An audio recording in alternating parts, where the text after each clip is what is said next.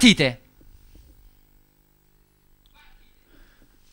Folega dal, dall'esterno prova a portarsi in vantaggio con il suo esterno, però ancora Pagliardina che adesso prende l'iniziativa nei confronti di Alhambra, poi in terza posizione c'è Absolute Blast, in quarta c'è a Raving Beauty, poi in quinta qualche lunghezza di distacco c'è Candy Store che avvicina ancora Folega, Disdain, Laganor che chiude il gruppo insieme all'interno di Sky Full Stars con Asciana che ha recuperato qualche posizione, si è portata a tallonare la terza in questo momento con Alhambra che prova a dettare i tempi con tre lunghezze di vantaggio nei confronti di Pagliardina in seconda posizione all'esterno c'è la numero uno di Arab- Raving Beauty poi in quarta con Absolute Blast in quinta la favorita con la giubba blu Asciana ancora più dietro invece ci sono le altre, capitanate da Candy Store, Laganor che migliora la sua posizione, Skyful of Stars adesso già sostenuta insieme a Disdain, mentre chiude il gruppo Folega. Cavalle che adesso sono addirittura di arrivo, Alhambra che va in lunga progressione, in seconda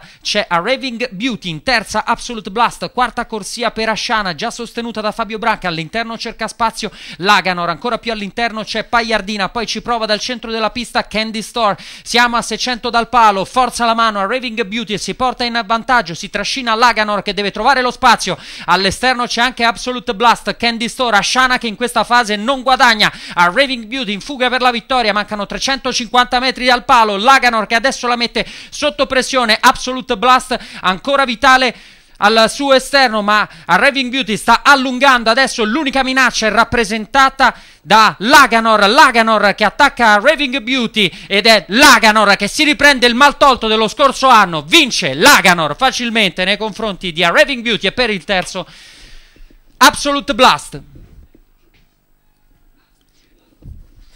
Terza lo scorso anno Laganor con un po' di sfortuna Quest'anno prima con uh, Colin Keane in sella, il training è quello di Tony Martin, i colori sono quelli della Newton Understood Farm, la quota al totalizzatore di 2,97. È stato molto bravo il suo interprete perché ha atteso il momento giusto per gettarsi all'inseguimento della fuggitiva e nella fase finale l'ha agganciata e superata vincendo molto molto bene.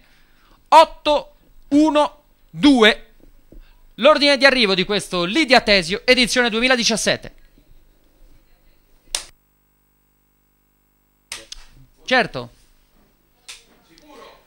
Eh, direi che insomma si è ripresa quello che l'anno scorso gli hanno tolto. Eh, l'anno scorso veramente aveva fatto un numero, si era presentata veramente la dominatrice, poi ha provato a cercare dei vaschi che non c'erano, Jim Crowley, e l'ha persa un po' così. Oggi si è ripresa quello che, che aveva perso l'altra volta, anche se a Raving Beauty gliel'ha fatta, gliel'ha fatta sudare. Eh, ha deluso, ha deluso Asciana. Eh, come forse ci aveva suggerito Stefano, non era proprio bellissimo al tombino. Adesso lo possiamo dire con un pochino più di, eh, così, di, di, di